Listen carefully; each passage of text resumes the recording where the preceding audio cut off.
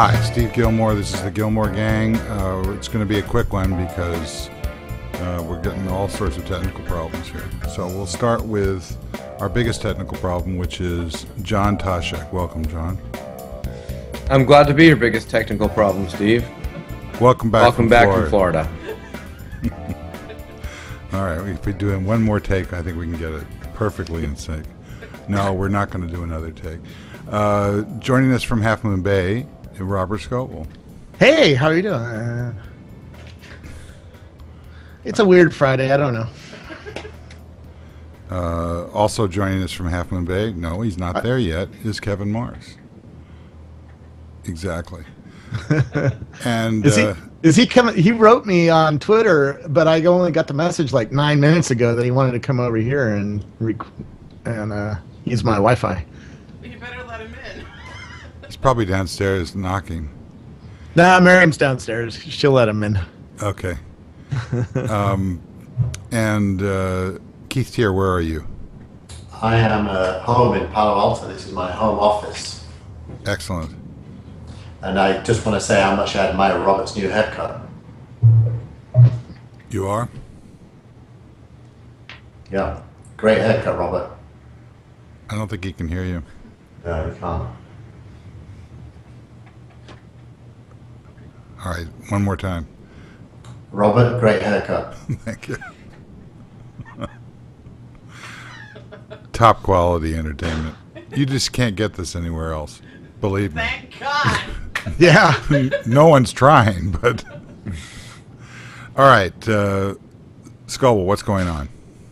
I don't know. A lot of people pitched their books this week. Um, I, I just have been so freaking busy that I haven't really paid too much attention to the news. Um, right now, on top of Techmeme, is Google is uh, trying to push through some new terms of service updates, which uh, uh, give them the rights to do ads, sort of like Facebook has uh, with your names, you know, with your friends' names on them. Um, iPhone 5s are crashing more than iPhone than older models, and I, I'm having that problem, but it's not bothersome yet because I used Android for six months. So I'm used to a little bit of a pain when I'm using my uh, my phones, but I have noticed more crashes uh, on my iPhone side of the fence. Um, I don't know what else has been happening. All right, this iPhone thing is 2% as opposed to 1%.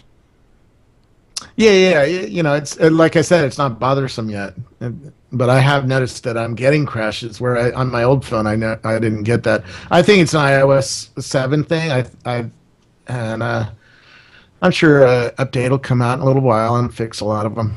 But it's not It's iOS. probably 7. the rampant update of iOS 7 apps that just have been rushed to the market to. Yeah, that's part of it, but they, they were iOS seven on my old phone was crashing with apps all over the place. In fact, Patrick, when he got when he first got iOS seven, could crash an app just by touching it and repeatedly doing doing that. That's sort of why I called it a disaster. Um, uh, you know, when it first was coming out, out for developers, and they clearly haven't had much time to beta test this thing, so they got rid of most of the bugs, but there's still a few bugs there, and uh, they'll clean those up. I'm not too worried. This is one of those things I, you know, that they should have uh, taken a little bit more time and leaked it out a little more. I think. Um, it's, it's developers have to switch over some mentality, and on the 5S you have to do 64-bit too. Yeah, it, uh, it's uh, uh, you know it's running fine. more stuff in the background. They changed the architecture a bit, and it takes some time to clean it up. You know, uh, Yeah. people don't understand how software engineering works, and it takes time. It'll get cleaned up. I'm not. I'm not too worried about it. My my phone is working just fine most of the time. Keith, your comments? What's that? Keith, your comments? Uh, well, uh, there are a few bugs in iOS 7. I've seen them, but overall it's fine. The most buggy software I'm running right now is Skype 6.9 on a Mac, uh, uh, and which is what we're using for the show on my side at least. And I guarantee an hour from now, uh, I won't be able to move, uh, I, or I'll be able to move, but you won't be able to see me moving because it just starts sucking up memory and CPU. It gets to 200% CPU on my system. and I've got a big system. So uh, Skype Skype screwed up big time with the latest release. Uh, Kevin Marks, welcome. He's outside of Robert's house. Yeah, I can hear the I can hear the air, but not Where him. where are you, Kevin? I'm at the Half Moon Bay Coffee Roasting Co. Oh, you're you're like uh, ten minutes away from me. Yep, just around the corner. Excellent. Well, the So- sun is out. You came over here on a good day, and uh, by the way, if you come over to my house, there's some cool people coming at three or four. Oh, well, I may drop by later on. Excellent. Yeah, You, you, you just imagine you can hang out with cool people. cool people. You're clearly not one of them. cool, very cool people. cool than I am, certainly. I can't I can't tell you what my Friday afternoons are like here because it's just it's too crazy. But it it's been quite epic lately. So, Robert, you wrote something about uh, how wonderful Google Plus uh, or Hangouts or whatever it is that they are now calling it. Yeah. Uh, so, what is it that's so great about it? Uh, well, the quality took a dramatic uh, pump up. Uh, uh, this week when I did it, it asked me, "Would you like to turn on HD?" And of course, I go, "Yeah." and all of a sudden, the picture's like, "Whoa!" dramatically better, and um, better than what we're getting on Gillmor Gang, even. And Is this um, the move to VP8? Or is I don't know uh, what they did, uh, but it it's like four times sharper. Easy. It's like wow, I get the full HD of my camera now on on the on the Hangout, and the capturing is good. They also added a, a few new chat features, like I can a- ask my audience or my I can a- ask my audience to uh, send in questions, and they come in one at a time, and I can say I'm answering that question and. Um, it builds it into the video, and they uh, the layout is getting better. It's uh, easier to use for somebody like what do you mean it builds to- it into the video? Well, when you answer the video, uh, the question, it can take you right to the answer of that question. You know, YouTube has the ability to, uh, when you play it back, uh, take you right to the time code of the of the. Uh, Oh, they sync uh, the question with the video. where you're- with your- Yeah. Oh, that's clever. So they're putting a, Oh, a, time, awesome. a timeline tracking. That's that's smart. Yeah. Yeah, it's not that cool? Very good. It's very nice. That's And something that few used to pay things. millions of dollars to Virage for. Yeah, there's a few things. There's a nice chat room there. There's also uh, uh, nice lower thirds now, so you can turn on and off lower thirds and put stuff on them. Uh, lower thirds are the the graphics at the bottom of you know like CNN that shows you uh, the guy's name who's talking, and um, yeah, and it's free, you know, which is really nice. So you don't have to have a twenty thousand dollar TriCaster, which I love too, but that's a, another thing. So Well, it sounds like- tri- you still need a TriCaster if you're going to do multiple multiple uh, guests. well, no, you can have nine don't eight so. guests in one room. Yeah, no, you can't do what we're doing right now, which is a two shot. You can't do Okay. Can't do the two shot.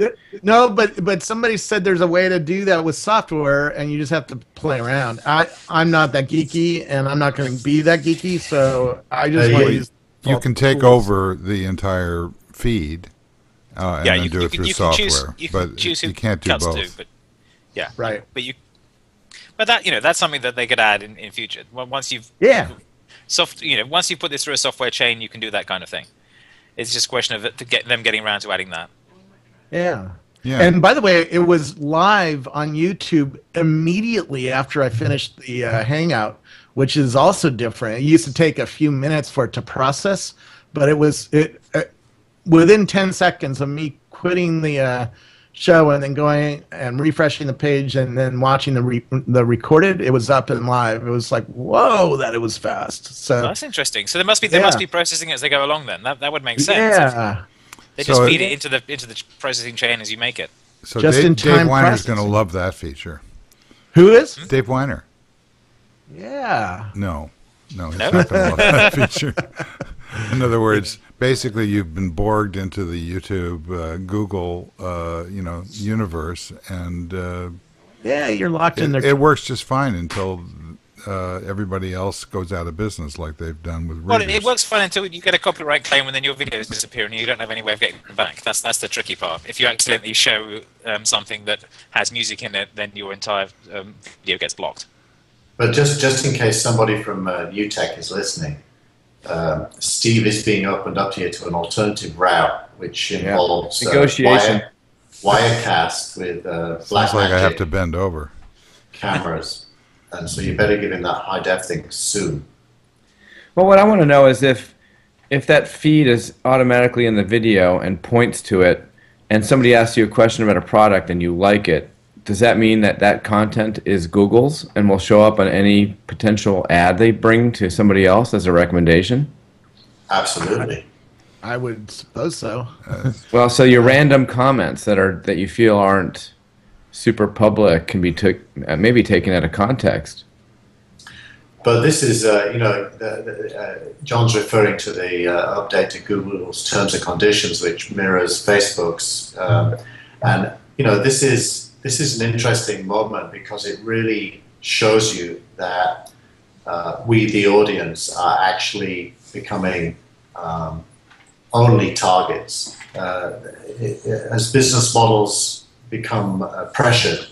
Um, to generate money, especially on mobile, we, we, we are not no longer like the recipients of services, but we now the targets, and we've now moved from being the targets to being the uh, advocates for various brands that we probably unintentionally become advocates for. And it, you know, you just wonder whether somebody there isn't saying internally, is this crossing a line where we're going to start losing users because we're abusing their, their trust? Right. Well, that's that's the challenge with it because that's that's been the issue with Facebook doing it in that they've taken um, any like you've ever made and use that as an endorsement to show to others. And this was a big problem early on with the Facebook platform where third parties were doing this and saying, you know, basically grabbing around a picture of your friends and saying, your friend here has, endorsed this thing. Um, uh, completely falsely, and now, now Facebook has, has been doing it and trying to be a bit more legit about it. Except that um, they also at some point added the every time you send a link to something that's an implicit like of it um, to Facebook, which which caused problems too. So there's a you know there's a there's a series of, of, of tricky issues to get over there. Um, I don't think there's a big problem with something that I've deliberately endorsed showing up. Uh, you know, if I've actually said I like this thing, then that's good. But if it if it's just I mention this thing in passing and then I'm then uh, mentions counts an endorsement, that is that is much trickier. Yeah, and I'm not sure they're copying Facebook directly. There's definitely some copying, but Alright. the, the, the, the plus one has always been featured in ads or Yeah. promotions in the in your feeds. And they've been gathering reviews on on Google um, for ages. On the on the Google Maps and on the Google Local, they've been getting getting you to review things and posting those, and that's that's been part of the you know, part of the model there for a long time. Yeah, they're just making it more clear and giving you a, fe- a, a capability of opting out too. I'm not Yeah. defending this in any way. I think this is uh, I think this is just going down the theme of the people are the content, and Well, and I, I think you know the, the, the, the the, idea the of um, endorsed by someone I know is actually very valuable. That's that's to one of the reasons to Google works so content well. as an ad. I, Yeah. I completely agree. I just I'd like uh, a choice between two megaliths rather than just one. Well, the other challenge is is um, Come in. how how corrupt reviews are on the net as well. There was a great post by Stu Charman at um, uh, Forbes this week on how we need an X Prize for online reviews to actually come up with some way of making them non-corrupt. And there was a, and there's a, like the New York um, attorney's office was investigating corruption in reviews as, as well for um, restaurant reviews and things like that. So there, there's a there's a big issue with these being dubious in the first place. So this this this saying, okay, we'll take your user things and feed them into that, is potentially a way of making that better. But the problem is if the intent's not there, or if the intent is nefarious, if suddenly there's a there's a hundred people who create accounts and like this coffee shop and that and um and because it, you know the, the owner asked them to, then that that gets problematic. Yeah, well, that's going to happen. So, you So know, review my book, please. yeah, yeah, We have- yeah. Speaking it's of gonna corruption, happen. We, do I have we already have 133 reviews and uh, 116 are five star reviews. I don't think it, you need any more promotion there, Robert. I do. We always need more promotion. I mean, I, But there's no way of measuring it, Robert. Oh, you there you've already broken all the uh, metrics meters you go you go to Amazon. You could, it's it's like a, a penis measuring contest. You know how many reviews Whoa. do you have, and how many of them are five star. Now I'm New for the. Gillmor Gang. What's that? I think this is new for the human race. I've never actually seen a penis measuring contest. What about that? Get out of It's uh, like an old Zap comics that I um, I'm sure if you Google still it, you'll remember. find one. Endorsed by Scoble. right. There you go. Let's see how that metric flies around the universe. Not to disclose anything, but that is not a competition I would join. No, that's just British understatement for you.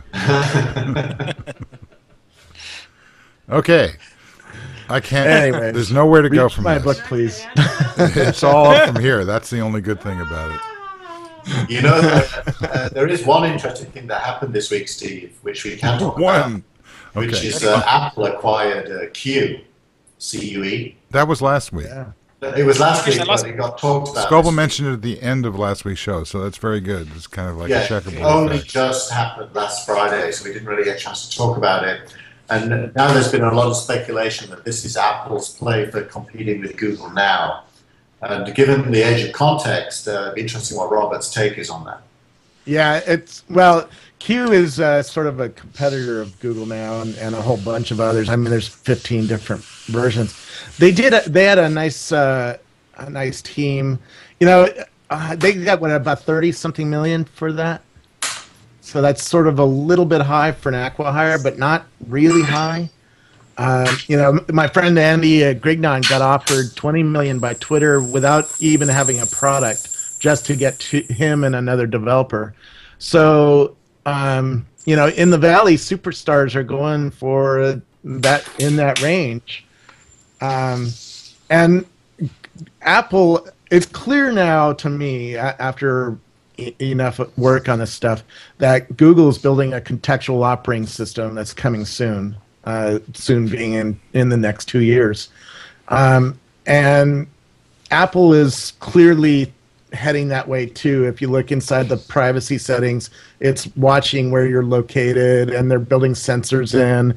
And they just hired the guy who who ran the Nike Fuel Band team, and it's it's very clear that Apple is seeing the same patterns that that um, you know Google was, and so they need talent to shore up their uh, talent pool there and get them into the contextual world. Um, and Cue certainly understands this this world very well. You know, whether they were the best at it doesn't really matter as long as you're on the dartboard. Um, you know, you can use that team and then uh, guide them a little bit and say, okay, here's what we need, and you know how to build it, so go. You know. The thing I, uh, there was some article somewhere uh, in the past few days about uh, Google Now and you know what you're talking about, uh, both of you. Uh, Yeah. And to me, the the fundamental limitation of the strategy, and I think that everybody shares this problem, is the inability to see it as being a uh, an Uber operating system. They they're all. I mean, Google Now is. Uh, they're very coy about how they're going to move in the future in terms of opening up. The smartest thing they could do would be to open it up to iOS immediately, because it would get such traction that it would be very difficult for anybody else to catch up to them. For some they've got reason, it they're on iOS, but you that. have to you have to go through the Google app. The problem is they can't hook in at the notification layer on iOS as easily. If you install the Google um, search app on iOS and click it, then you get Google Now um, prompts um, yeah, up showing up there. but but you know the po- the point I'm trying to make is is that there are always these kinds of issues. But Google historically has always uh, had this problem of uh, you know trying to sell something of their own, and therefore. Uh, mostly in the apps layer, they they tend to favor those apps over iOS apps, and it makes sense from an economic perspective to a point. But right now, Well- it doesn't make sense at all. They they should make it. They should make the the access to their apps. I mean, Chrome. Uh, I, uh, Chrome on iOS is now uh, three percent, up from like one percent only a few months ago. So Right. you know when they do do, That's shocking, by the way. But go ahead. why is that? I can't believe anyone, not everyone, would use Chrome. You, Uh, you know, okay. it doesn't I just support got reading my- lists, for example. That's I why just I got don't my brother-in-law on the iPhone for the first time.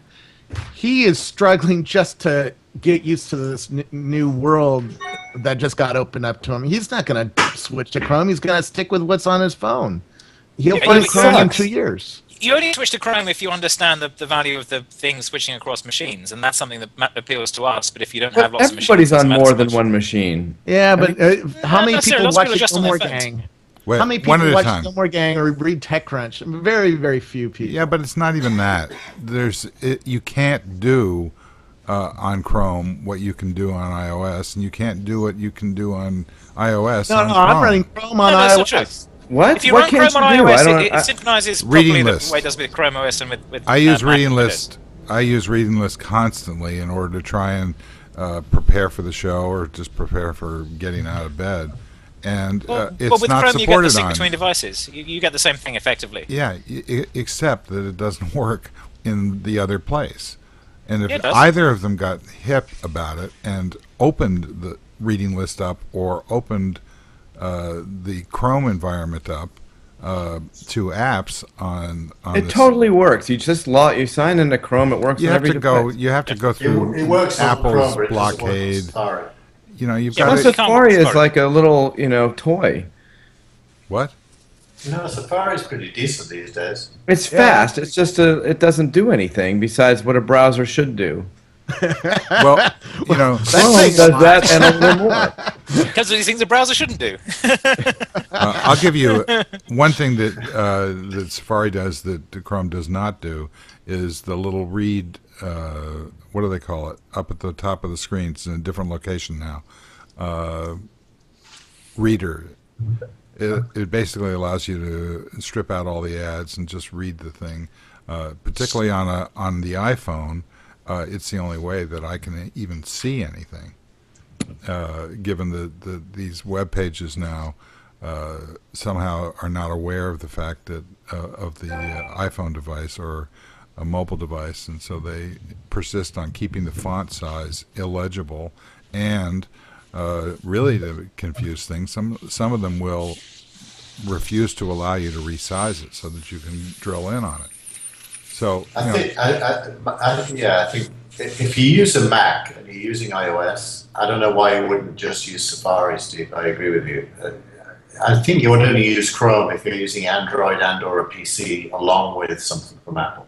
Well, but I think that there sense. there are real, really good reasons. You know, on uh, on the MacBook Air, which I'm increasingly using again, uh, Chrome is far superior to uh, to Safari, Yep. and uh, it also brings in all of these other uh, you know environments that you should be able to have access to. All So I'm saying Chrome is, has the, like, the Go ahead. notification support that actually means that the notifications come through as well, which is quite nice, and that isn't fully there in Safari yet. So there's there's there's web notifications that pop up from the top of the window, and Chrome supports those. So when you get a, a message from Gmail or something, even if you don't have Gmail open, it still appears. okay, That, that's very handy. I'm I'm going to sort of ride you, Kevin, because it's uh, uh, very noisy around you. Is there traffic noise? Sorry. Okay. That's all right. Um, just if you if you are talking and don't hear anything, you'll know why. Okay. Uh, also, speaking of notifications, Twitter has come out with an interesting uh, direct message uh, notification uh, scenario. Have you been following that? Any of you? Yeah, the news feature, the, the, the what do they call it? Something carrot or something, A parrot, news parrot or something. Yeah, News Parrot. What's that? It, it, you know, it seems to be an attempt for them to do news tracking, but I couldn't get my head around it. When I looked at it, it wasn't obvious to me how it would work. Yeah, I only got one so far. I turned it on, and this is the one I got. Event it's like Parrot, a little uh, news thing that it sent me. It's pretty useless so far. Yeah, but it's a start.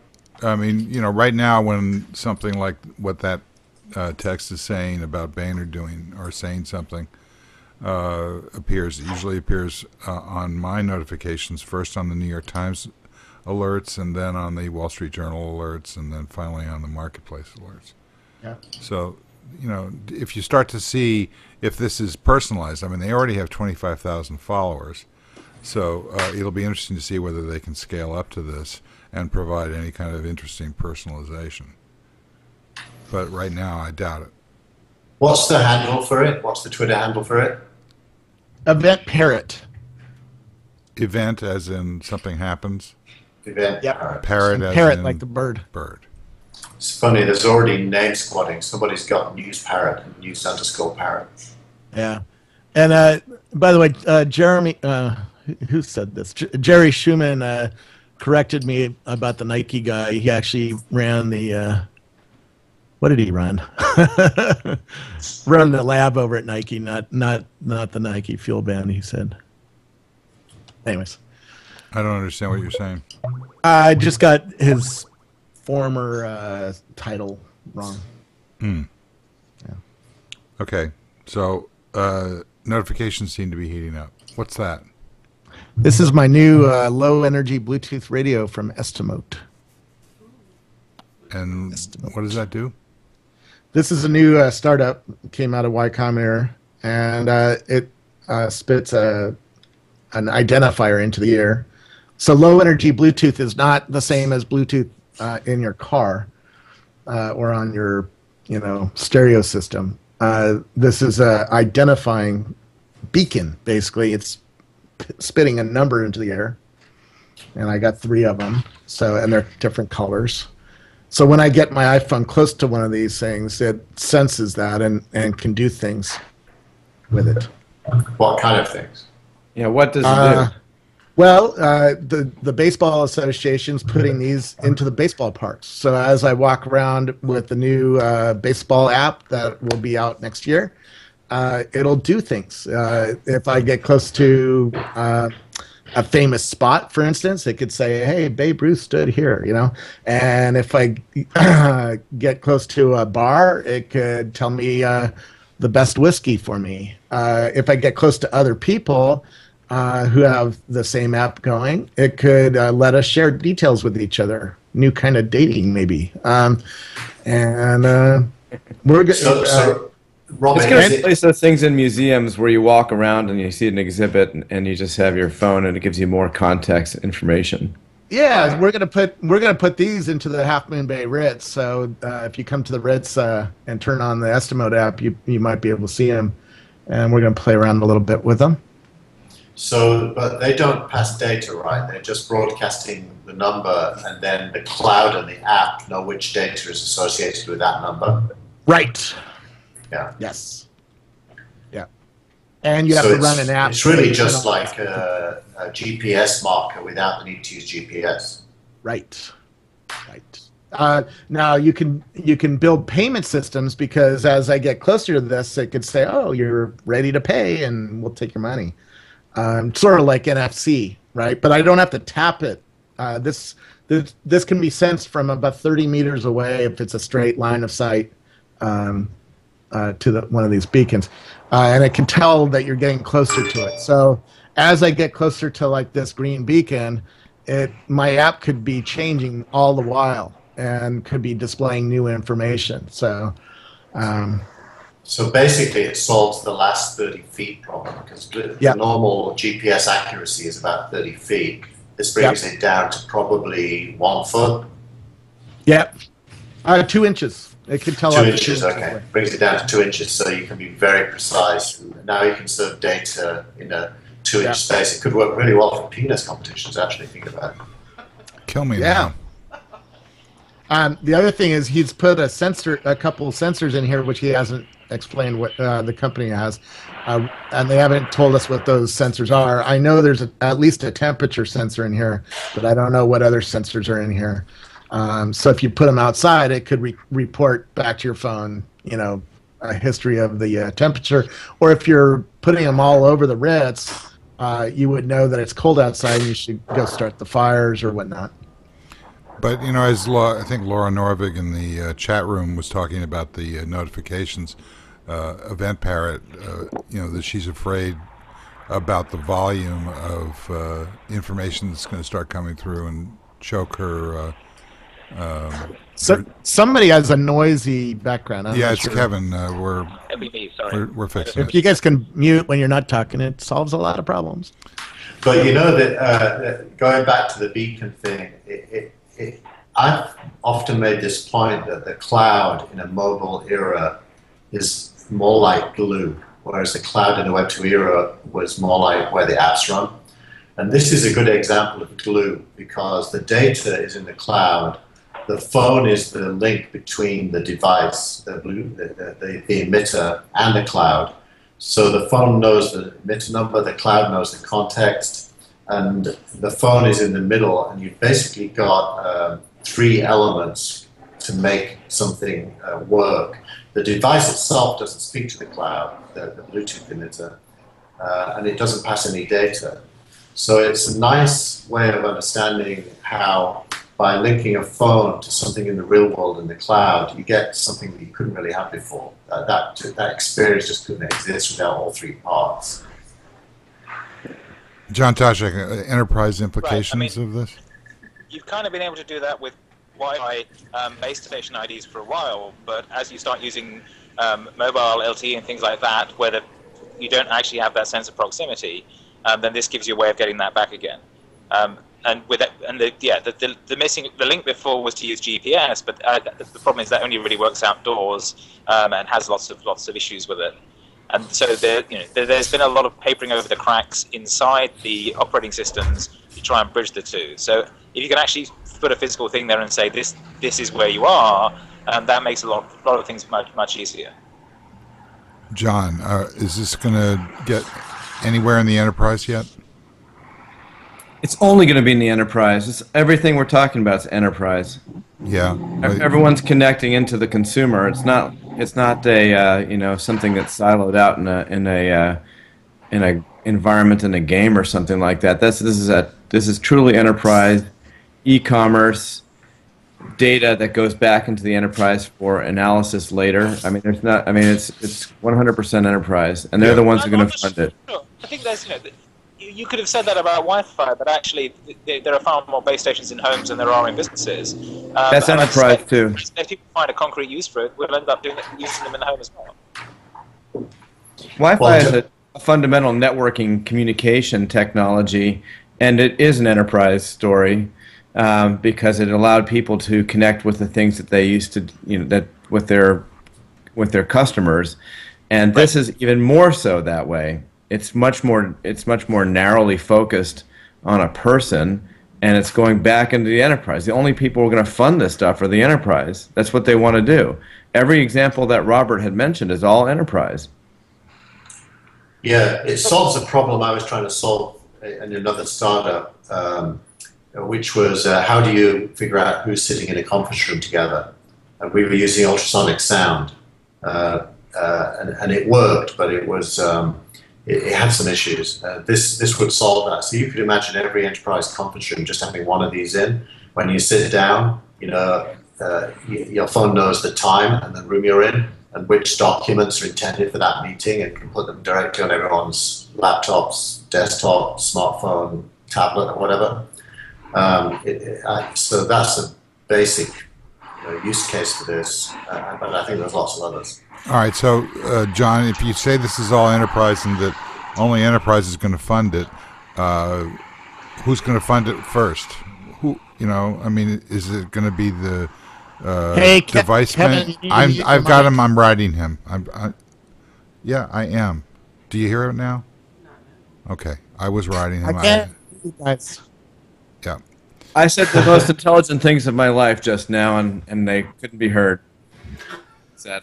Um, the uh, who's going to fund it? The Internet of Things companies type, you know, that kind of company is going to fund it first. Uh, Cisco will need to do something here, but also the Google, Apple, Amazon, they're going to want to do this too. And then it's going to go right into the retail stores, consumer stores like coffee shops, uh, museums. It's going to be uh, you know, Steve, can you mute Kevin because we can't hear anything? Kevin, can you mute Kevin? No, you're muted. I'm asking you. Just nod, please. Well, I don't think it's me. No, it's not, it's Kevin. I've got him all the way down. I'm just trying to find out whether or not I'm he still can hearing ride himself. Uh, street noise. Well, then you're hearing probably uh, Keith. Do you hear it now? I still hear it. Do you hear it now? Now, now it's gone. I didn't do It anything. sounds like somebody's doing a, you know, one of those, um, you know, a car race in their backyard or something. Yeah. Okay, that's Kevin. I can just hear an airplane. Because a truck going by the coffee shop there. Okay, so Who either- needs who needs these eye beacons? We have Kevin Beacon. So Kevin, when you want to say something, just raise your hand and I'll bring you uh, the level up. Can we continue with what we were talking about, please? Um, yeah, so I was just saying that it's going to be uh, in all in all the places where location, um, and that bridge the what used to be near field communication into uh, payments and things like that. That's retail, coffee shops, things like that.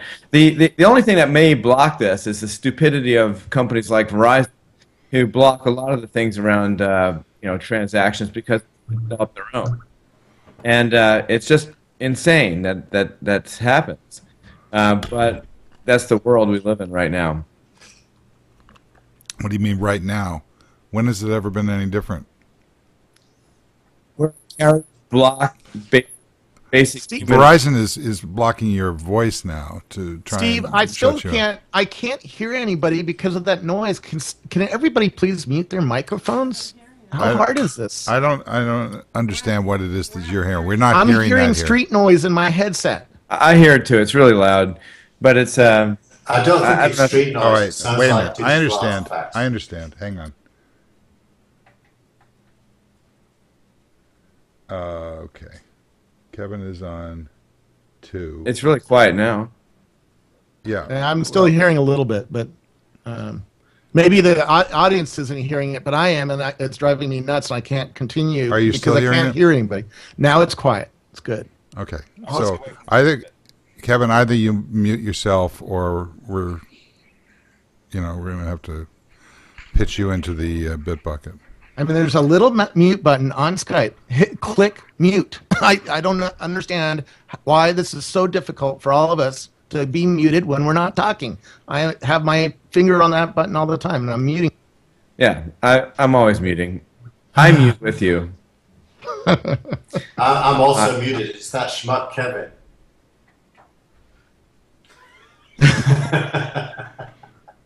Kevin is now the It's- mime of the Gillmor. It's nice Gang. and quiet now. It's great. I just want to point out. Now we can get back to conversation. It's good visual though. I just want to point out that uh, I have never been a moderator and I never will be one. I am just an annoyed person right now. Please continue. You're holding it in very well, though. Yeah. You should see what I'm holding. should, should we talk about what I heard, what I learned at uh, Salesforce yesterday? I Yes. don't know. you I, can. I we visited can't. the house of Steve Gillmor, Sorry. John Tosh. I visited your house. I visited your uh, your headquarters, and I talked with uh, with the senior vice president over there, and I talked with the team putting on uh, Dreamforce. By the way, they're preparing for 120,000 people in San Francisco.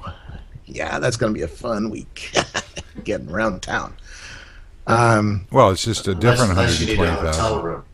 And did you know they have 1,250 breakout sessions at this conference? I, I, you know, when I put on conferences at, like with Steve Gillmor, you know, doing v- bits, Visual Basic Insiders, I think we had 80 sessions was, and that was for 2,000 people. so I'm, I'm glad I don't have to plan this thing. That's crazy. 1,250 sessions. By the way, uh, 150 sold out in the first couple of hours.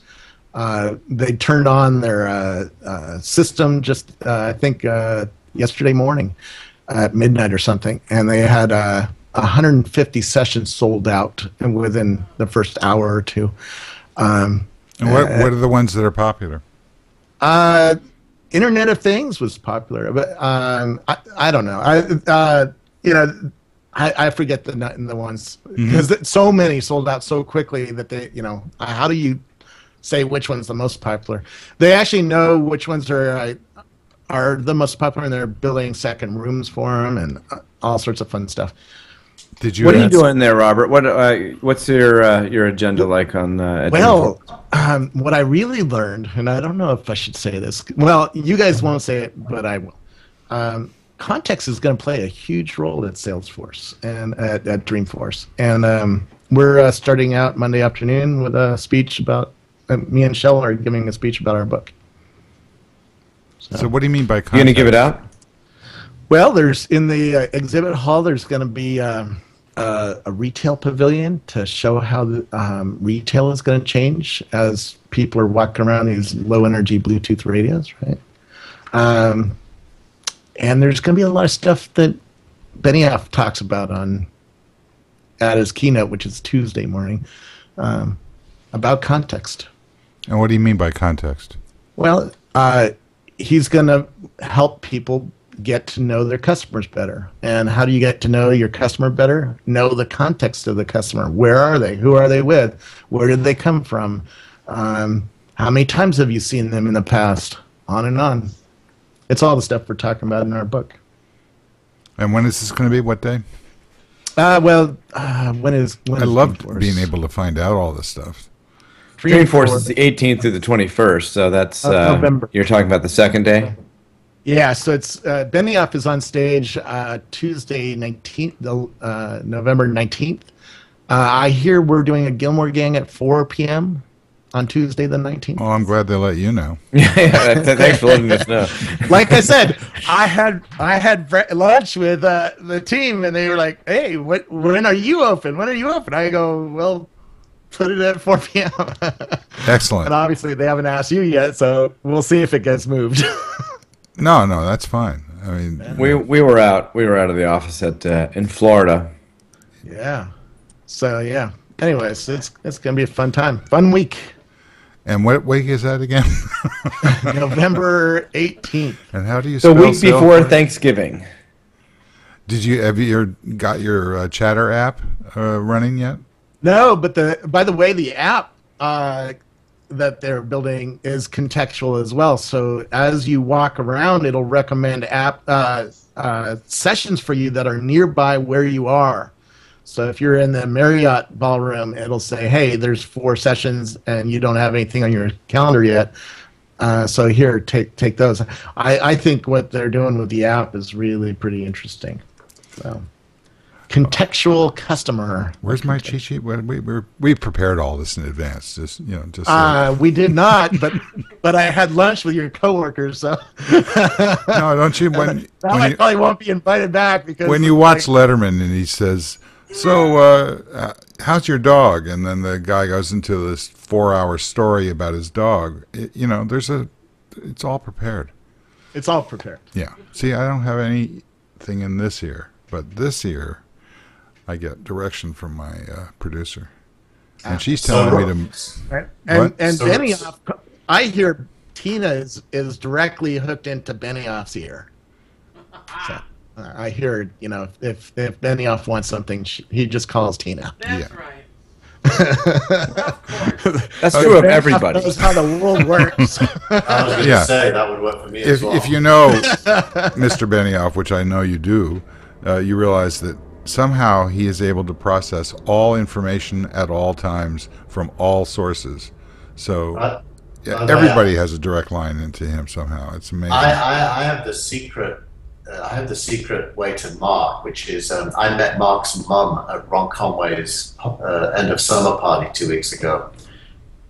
Mark's mum is awesome, and uh, she immediately walked across the whole place and dragged Mark over to meet me because she likes me. So Mark's mum is the one to go for if you want to get to Mark. So uh, give me a shot of uh, of Kevin because uh, he is slowly fading away. so Matthew Voshel, this That's is a TV show. you right can't there. get this on Bacon Hangouts. You just can't get it. Man. You know the the National Surrealist Light People's Party is at work again. It's a Firesign reference for those of you who couldn't care less. Okay, so uh, well, that's exciting, Robert, and it's going to be fun to, uh, you know, Dreamforce is is a state of mind uh, at, at Salesforce. It, uh, the next one starts the day after, or maybe two days after. They give us one day uh, to uh, contemplate, uh, you know, look and see whether the government's back in session or not, and then we go. So I know we don't talk about politics that much, but I want to hear Well, what are your thoughts about the uh, government shutdown? Seems to be going quite well, doesn't it? Uh, well, a lot of people are losing their jobs. No, I don't mean that from a you know the people that are being hurt by it, but just in terms of the relative. Uh, uh, it's difficult to tell that the government is not working right now. Uh, it, it is if you look in the right place. I mean, you can't go to a national park at the moment. That's true. Well, you can't You go to can't Great go to America the either for because it's some shut reason. down because of the government. And Uh, I was supposed to go to a conference tomorrow. That got canceled. Really? What was the conference? Uh, it was a conference to government people, so none of them could, could come, and most of the speakers were government people. None of them could talk, so yeah, that sort of killed a multi-million dollar conference down in uh, Tampa, Florida. Um, and we're seeing other other effects. You know, people are finding out what the government actually does now that it's shut down again. Yeah, well, that's always been the uh, the question is if, if they shut the government down and nobody notices. The, it- Oh, they're noticing, and, and the economy's going to notice. You, you're going to see uh, the economy is definitely noticing. You know, Kevin, what do you think about the government shutdown? Kevin, Well, the um, there's, a, there's, a certain amount There's that noise again. shutting things down so people notice, and that's what the national parks thing is about, because they actually make more money when they're open than when they're closed. Um, the other thing that I saw was that they've stopped licensing new beers, which is which is a, a real problem for people who like craft beer. So that's going to be a, a piling up a problem for uh, as all the seasonal beers no longer exist. okay, thank you. The food checkers are. Uh, I, you know, my point of view on this. Do you want to know what I think? Yeah, well, uh, I'll tell you if you want. let me see your passport. Actually, I've got a U.S. passport. I can't show you it right now. But No, that's all right. Go ahead. It reminds me of last week. I went to the Maroon Five concert, and my kids stole Google Bikes to get. from- God. uh, They to- stole- well, some of my kids. They stole Google Bikes to ride from where we parked to the concert. And this guy ran down and said, "Do you work at Google?" And I said, "Absolutely. I've got my door pass." And as I fumbled for it, he says, "Don't worry, I believe you." And I was completely lying through my teeth. And he's watching now. It is watching now, and, uh, and I couldn't think what else to do. And luckily, it worked because if he made me show it, I would have had this blank door pass that was not a Google Pass. Yeah, I did that with my AAA card, which is a AAA card from 1973. Anyway, government shutdown. Uh, you know, I, I think Americans generally, I exclude everyone on this show and listening, um, so they don't attack me afterwards. But I- don't think Americans think of the word government as a good word. It, it only has bad connotations because they're, and, and it, that kind of troubles me because government is equal in my mind to civilization. It's like where we collaborate to create things that we all need. So when the government shuts down, it's kind of like civilization is shutting down, and we all kind of get on the best we can without it. But um, you know, I, if I was a politician, I'd be worried that what's happening is we, the people, are becoming cynical of you, the government, no matter whether you're a Democrat or a Republican, and doubting your capacity to provide to us the things that we elect you to do on our collective behalf. And this shutdown, you know, and I'm personally in the cabinet, believe the Republicans caused it, and that Obama shouldn't concede. Uh, this shutdown just is terrible for both of them. It's terrible for the whole concept of human cooperation to create common good. Well, I think that uh, sort of pivoting from what you said, but uh, taking it into account, I think that what's going on uh, is a, a real opening for uh, the digital economy uh, in general. I think people are going to start to realize that uh, these notification generating devices are far more important to them in their work lives and in their personal lives than any kind of relationship with uh, the so-called government. And I think the government's going to have to catch up very quickly uh, in terms of entering this. Uh, what when you, John Taschek, talk about uh, how this is going to be funded by uh, industry, uh, I wonder whether or not government uh, needs to also fund it in order to avoid being left behind. Well, there's certainly uh, public works projects that could benefit from this uh, technology. And if the government is in that business of creating some infrastructure, such as highways where um, cottage industries develop over, like, you know, Sparrows or Cracker Barrel or something like that off the highway, you need some kind of infrastructure. And if it becomes pervasive, then it, then it is part of the, the technology infrastructure, and the government has to get involved in some way, at least by outsourcing it to another uh, company. But of course, that's going to be that's way down the road now. It's not even they can't even think of that kind of stuff. Uh, but they will need to at some point. Robert, any thoughts?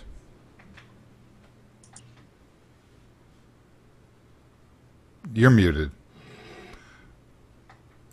The perfection of silence. It's one of those things when you mute, you've got to remember to unmute. No, he he's somehow permanently muted. He's not muted, and he can't be heard. Oh, there we go. I was I was mu- No, you do whatever you just didn't do. You just didn't do it again. He wasn't lying when he said his finger's always on that button. All right, now maybe I'm unmuted. There you are. it's just sticking in this loop. It's like uh, everything's slow. Oh, Actually, that's the there he goes problem. again. That's the Skype problem, Steve, that I mentioned. After about an hour, it slows down and it doesn't work anymore. He's probably on the same version as I am. Interesting. Thank you, Microsoft. I think Skype's a 32-bit program. Has anyone checked into that? It's just so dumb. By owned by Microsoft, who's pontificated about 64-bit for at least 10 years. I'm not sure though. I've seen it register as 32-bit many times though. Keep your hands. Microsoft is going to be in a mess for a long time. Um, anyway, that's a that's last week's show. uh, this week's show is about the government. Um, I, I cheer on what uh, Keith said. It's um, you know, I, see government not as an evil, but something that we all need. I, I need to drive on roads. I need to be defended by uh, military. I need uh, you know a school system that will make the world a, a better place and uh, ensure that everybody gets an education, not just the rich. And uh, we're just we're destroying that. Uh, you know, we're destroying it with our words, and we're destroying it with our actions, and we're destroying it with our rhetoric. rhetoric.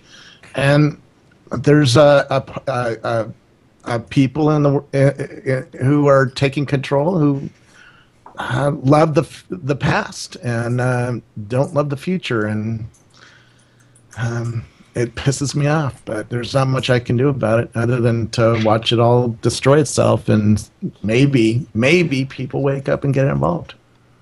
Well, I know Keith has to leave in a few minutes, so uh, uh, I want to give him a chance to uh, wrap uh, before he goes. But I do want to say that uh, you know the the stuff around what's it called gerrymandering Yeah, uh, is what's really gotten us into the situation that we're in, Yeah. where where uh, you know a small group has uh, you know basically they can do anything they want because they're completely protected by the design of the district that they serve. and we should explain why that caused uh, extremism to happen, and probably on both sides, right? Um, when you redistrict a a, a, a, a district uh, to make it so that it's almost impossible to get somebody else in, involved. In, in other words, if you, if you build a Republican district here and then a Democratic dis- district here, what what the only thing you are worrying about then is the a primary system and how to get um, the re- the Republicans out to vote for your for, for between two Republicans, and how do you get Republicans to go the, to the uh, to the poll and vote in a primary when there's no uh, nobody on the other side, no no uh, Democrat? Well, you you you uh, pander to the district and you you uh, start getting these extremist points of view. Wh- which don't reflect a national uh, audience, but the Right. issues that they are locking up and tying down are national issues, and so that that is the fundamental problem. Exactly. And Yeah. what I think so interesting is is that I think some people are going to. Uh, there's been a lot of strange bedfellows going on in recent days uh, as this uh, drags on. You know, somebody in the chat room talks about the Koch brothers, who are notorious conservatives, uh, but they're actually getting really pissed off about uh, the uh, shutdown and are le- actively lobbying, among others, who wouldn't normally be, uh, you know, having some leverage, uh, are uh, uh, are lobbying for, uh, you know, some sort of a. well, when the when the when the economy goes goes south, the rich people start getting hurt, and um, you know it's fun to play. Uh, you know political games but when people start getting laid off and they start changing their buying behavior and they start changing their investment behavior and they start try- changing their travel behavior i can't travel to t- tampa tomorrow so who's getting hurt there the airline workers getting hurt the hotel workers getting hurt the taxi drivers getting hurt uh, the city is getting hurt because i'm not bringing dollars into tampa they're staying Well, where in the what right where the the real, uh, you know, what is it? Uh, the track that's the third rail, the real third rail here is the uh, default. If we default, then everybody gets really slammed. Well, and, and interest rates on houses go up, right? Right, exactly. So people can't get loans. That hurts rich people Businessmen too. can't get loans, etc. So, uh, with that, uh, Keith, uh, give us your your parting shots here. Actually, the, the default, damn, sorry, uh, the default issue is kind of interesting because uh, the Republicans clearly don't understand economics. They can't make, they keep making the point that there's enough revenue to pay the interest on the default, um, uh, as if you know, uh, as if uh, you could stop paying for everything else and just pay the interest. And they don't understand how the economy, both locally and globally, is interconnected and how if one little piece of it goes wrong, everything goes wrong. So I I worry that we've got a bunch of amateurs making policy decisions about the default, but I have no idea what the consequences would be if that were to happen for the whole chain of value relationships that depend on not defaulting. Okay, Your phone's going nuts, man. it, it's your congressman. It is. It's Okay. probably calling me. It's probably the NSA saying we heard what you said. Now shut up. They couldn't hear what you're saying because they're Right. they're shut down. But I'll, I'll, I wonder- On that note, uh, I will leave you so I can answer it. Okay, thanks. See you next Bye. time. And gone. I'm getting like Scoble. I'm just, It's still all I want to hear is nothing. Well, that's an interesting opinion. Can you say it without talking? all right, what else? We got to run soon.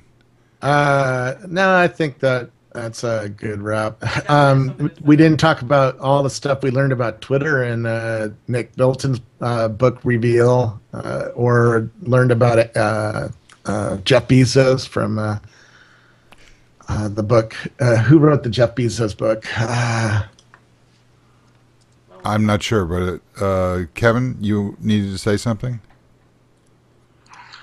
Well, the other point about the government thing is that um, because they shut down their websites, they all shut down the open data APIs and the web websites that are providing that, and that's impacted a lot of uh, startups who are relying on that data. And suddenly, instead of getting um, the data or even a sensible error page, they're getting web pages and a whole bunch of services fall over. So a lot of the um, local travel services and things like that suddenly stop working because the, the government um, pulled the plug on the websites um, as part of the shutdown. So that was that was you know, example of um, where government would be making good progress on providing useful services that other people could build on top of, and suddenly that stuff was pulled out from under them. And that's getting a lot of people to rethink um, relying on that and starting to think about caching it themselves and so on. John? I think we wrapped up on the government. I mean, I would try to get your house refinanced now for everyone out there who has to do it. Um, the uh, I think uh, 800,000 people out of work with the promise that they're going to get some back pay is one thing, and I think that uh, that there's a whole bunch of people who are. It's not clear whether their benefits are going to kick in, and they're, and they're going to be hurt the worst, and that's pretty bad also, um, and that i- impacts the default and everything going on. Um, but I think people have this. Um, kind of insane amount of optimism about the government that it's just going to be resolved. You know, if it's not today, it'll be tomorrow. If it's not tomorrow, it'll be the next day. And they just keep on going on this blindly because it doesn't seem like it's going to get resolved at all. Yeah. And that's what's really worrying to me. Yeah, Well, the polls the polls are are shifting things, um, but yeah, these both sides are Poll- hard. the, I mean, polls say they ha- everyone hates the government, but they're not. They don't. They think that it's going to come through. I mean, that's. Yeah, but they hate the- they hate certain parts of the government more than others, and that is bringing the uh, the various people to the table. I, I find it fascinating so far. that you know, the Republicans have always had uh, in the last say three national elections, they've always had a real uh, lock on using technology for their benefit, and with uh, the last election, um, Obama basically cleaned their clock, technologically speaking. Uh, uh, so I think that that we're going to see a rebound by the moderate wing of the Republican Party. That uh, you know, I mean, they've got this direct line to people through their apps, and I think that when they start paying attention to that, that things are going to, uh, you know, be more. You know, the whole question of where the power sits in Congress isn't going to change in terms of the House's lock on things, but uh, you know the, the senators are, are basically in a situation where they have to figure out what to do. There was an interesting article in the Times about how businesses who have been traditionally supporting Republicans and you know something like ninety percent of their uh, contributions uh, are uh, very very worried about the influence uh, uh, that the Tea Party has uh, relative to their contributions, and they're starting to, to do something about this, and that's where the Koch brothers and others are are lining up, and that that's an interesting coalition that might have a, a salutary effect.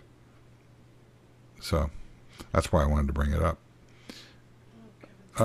Yes, Kevin, go ahead. You you've got your the kill switch, and you can just turn that around, and it's the open switch. Well, the the the, the challenge of um, there, there are huge structural challenges in U.S. politics because of the both the gerrymandering thing and the two-party system, but also the fact that so much money is required to um, fight an election. Um, and the, the, the real question is, could a potential third-party movement um, take advantage of the net to build something grassroots that challenges this system and, and, and fight one, one of these next elections? And that's been you know, sort of threatened for a while. Um, people have been talking about this, and we've seen things like this happen in, in, in Europe with the Pirate Party and things like that. And the question is: Is, is America right for that? Is something is is that something that could actually happen here? I don't, I don't think so. I, I don't think so. Uh, the, the first of all, that I always look at the world through distribution. Can you get, get distribution? And and politics is distribution of ideas, right? Can I get uh, a poor person in Missouri to hear about my idea to and and convert and and get them excited by it. And the internet, yeah, is reaching a lot of people, but it's not reaching all the people. And I, I've walked I've walked around with politicians, you know, in North Carolina and other places, and talked with lots of them all over the place. And it, it comes down to retail distribution. Can you get the boots on the street to go visit the houses to convince people to vote and and, and hear about your idea or your candidate or your your point of view and that is expensive I, mean, I, I was on john edwards plane when he announced he was running for president and just that one trip cost in fuel alone $45000 and um, and and people change their votes when you come and visit them. They also change your, their votes when you're cheating on them too. and he learned that the hard way.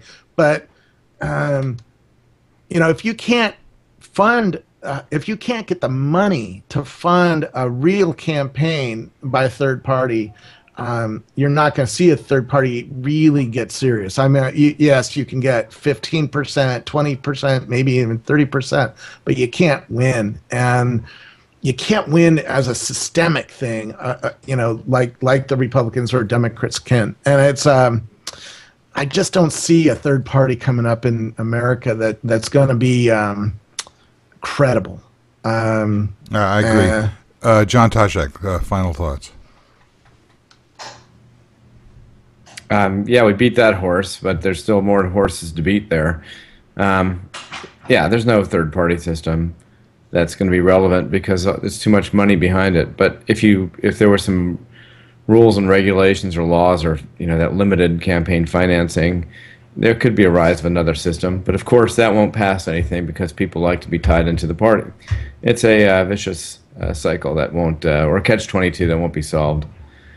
Um, as far as technology spending, innovation, things like that that are happening, even despite the government uh, uh, shutdown for now. I think there's going to be a big race to uh, that we'll see a lot of interesting things coming out because of it, uh, because people want to capitalize on it, you know, in case it does come back, and they want to be ready for it, and that's always true. But it could create some kind of you know warp in the uh, technologies that do come out and, and the purposes that are useful and and uh, that have adoption by people too. Well, I'm going to wrap this one. I, I want to just comment on one thing that I was expecting earlier, and I only saw one person, Darren, uh, dropping off because there's, quote, too much political chat. Uh, I think that that uh, really defines uh, the ludicrous nature of uh, people who decide that, that the politics of our country is too boring. That's why we get what we're getting right now, is because people just don't care and they don't pay attention. Uh, and what is it that you expect to actually happen uh, if you live in that kind of a, a of a, a, place? People should care. You should pay attention. You should realize that you have incredible power. Uh, that you know where your clicks and thoughts and information goes is where your power lies. And we have a lot of power, and we're just not using it correctly. It doesn't mean that we don't uh, have a choice here. It doesn't mean that John Taschek is wrong, that the things are aligned against, uh, you know, things getting better. Uh, but things do get better, and uh, we have incredible opportunities. So, uh, you know, this guy says that he's going to catch us all next week. Why? I'll we'll talk the whole time next about about this. Don't don't don't push me, pal. I I hate that too. I and I also I, today I had somebody said I'm unfollowing you. It's like really I I enjoy listening to people I don't agree with because it helps inform my own opinion and um and sometimes they're right. and, and it takes skill to recognize when they're right too, but sometimes they are, you know, and that's if if you can't change your mind, you're not intelligent. You're a robot. You know, it's like ah, drives me nuts. And I'll I'll give you one uh, final. I mean, I don't. I try not to talk too much about uh, uh, Salesforce and and particular Mark Benioff, uh, who I consider to be. I mean, I wouldn't be at Salesforce if it wasn't for the guy who's on the show here, uh, Mr. Uh, Taschek, who's an old friend and uh, made it possible for me to come to the company. But uh, you know, I've known Mark a long time, and here's somebody who puts his money where his uh, uh spirit and his. Uh, he just contributed some incredible amount of money. Two points. What is it? Two point seven million. That's right. Yep. To the city to the middle schools of San Francisco, and this is you know now he, you, you know, in fact, I asked one of the uh, Dreamforce uh, guys, you know, why don't you move this thing to Vegas? Because 120,000 people in town is it's a little bit hard for everybody to deal with, including them.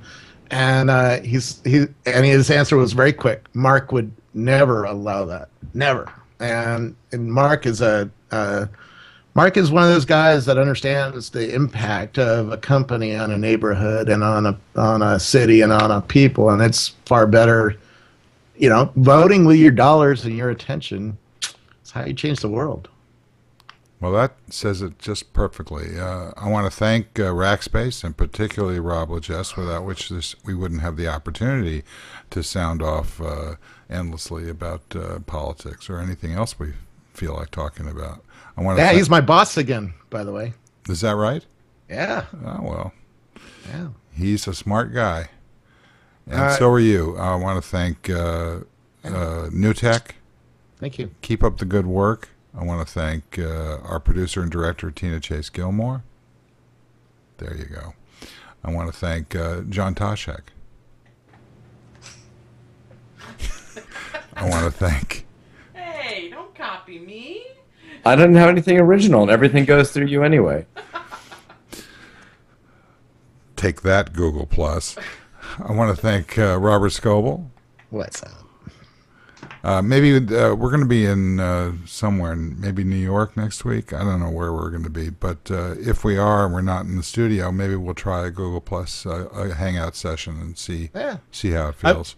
I'm gonna have office hours at Rackspace uh, San Francisco on Monday because I can't go to this conference. so I said, "Hey, let's open the doors, let everybody in, let's have a fun party." And I'll be there uh, 11 to 3 or so. that sounds fun. Yeah. And, and uh, Kevin Marks, thank you very much. We now return control of our TV set to you once more. Uh, thanks to the chat room. Thanks to everybody who showed up. See you again next time. Bye bye.